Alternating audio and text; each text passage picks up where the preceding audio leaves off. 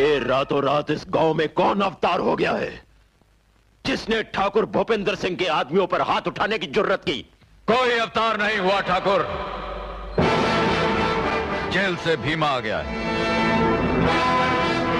और जेलर से यह कहकर आया है कि जेल के दरवाजे खुले रखना भीमा बहुत जल्द दूसरा खून करके लौटेगा।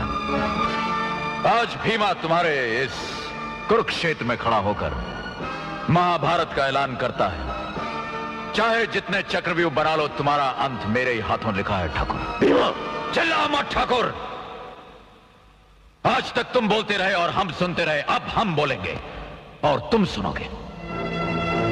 तुमने गाँव वालों की जमीनों को हथियाने के लिए लोगों के अंगूठों पर काली स्याही लगाई है।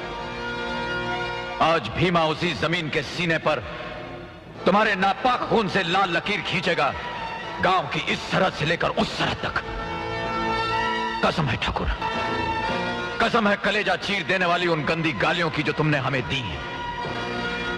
कसम है बच्चों की उन आंसुओं की जो तुम्हारे जुल्मों की वजह से बहे। कसम है उन खलियानों की जिन्हें जलाकर तुमने हमारी ज़िंदगी में आग लगा दी, ठाकुर। अब तुम्हारी चिता से आग लेकर ही भीमा इस गाँव का अंधेरा दूर करेगा।